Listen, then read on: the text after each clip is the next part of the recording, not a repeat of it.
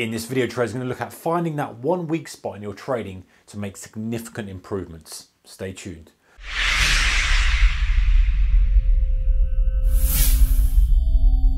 Hey guys, a very warm welcome to you. Okay, so if you're struggling with your trading, you need to take some positive action to improve it. What you can't do, and believe me, I've done this before, is just plow on regardless. Think I can work harder, I can do more, I can do more research, I can make better trades. I only need a good little run.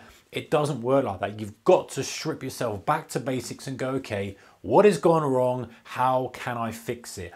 And the best way to start that is to find the one weak spot in your trading. Like the 80 20 rule, find the one thing that moves you forward the most and you'll have the best success from that. So, title of this video is finding that one weak spot in your trading. How do we do it? Okay, so in an ideal world, you'll have a journal, you'd have all the stuff there, you'd have a trading plan, etc. But before you turn off the video and go, I haven't got that, that's okay.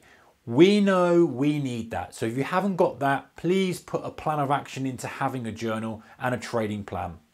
But I get it. A lot of people start out trading, don't have a plan, they don't know what they're doing, they've got no strategy, they've got no journal, but you must have a plan to be able to improve. You cannot improve unless you've got a plan because if you don't know if you're trading in a consistent way, you don't know whether that's the correct way or the wrong way. You, if you're trading just randomly, you've got no data to work on. So get a plan together, get a journal together. Right, that's that out the way. Now I want to look at, okay, consider this. You've probably got an equity curve that looks a little bit like this.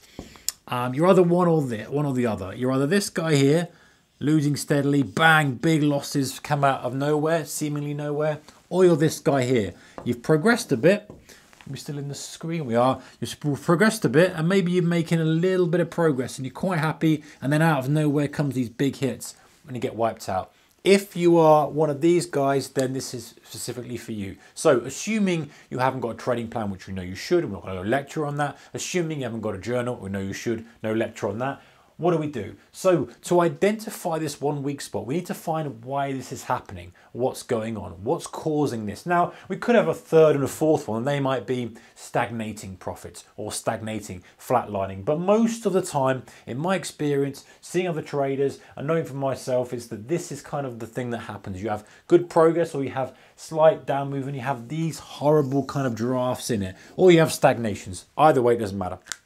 So the point is, if we've got no data, what we need to do is we need to look at trades in a big block, whether we download to Excel, whether we put them in, in, a, in a spreadsheet and download them uh, physically on paper or PDF, whatever it may be. And then we need to identify these clusters of bad trades, if you like, in that uh, cluster of data, or in that data. So if we're on Excel, or if we're on, on, on literally pen and paper, that's fine.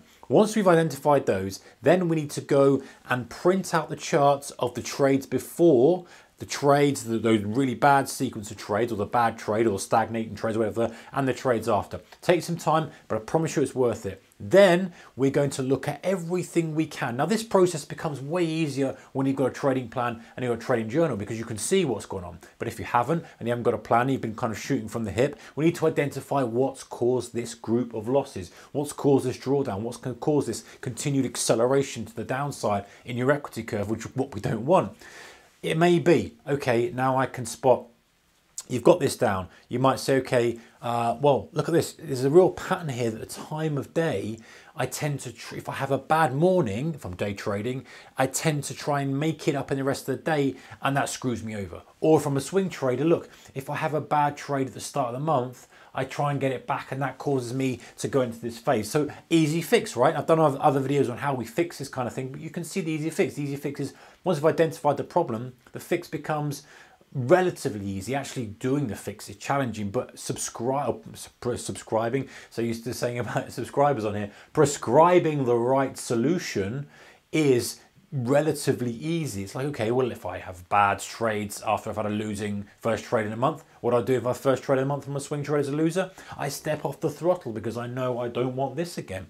What I'm doing from a day trader, I step off the throttle. It might well be after a big loser you do this. It might be after you've had a break and you've been working hard doing other stuff and you come back into the market and you push too hard and you get caught out on this. It might be after a good run, which is why we print off the charts before the sequence of bad trades and after because we want to see as much patterns as possible. Is it a specific market? Is that the catalyst? There's normally a catalyst, guys, that causes this, whether it is external, whether it is something, but it's normally the way that we're trading as opposed to how bad spell on our strategy, which we probably don't have if we're in this case in the first place.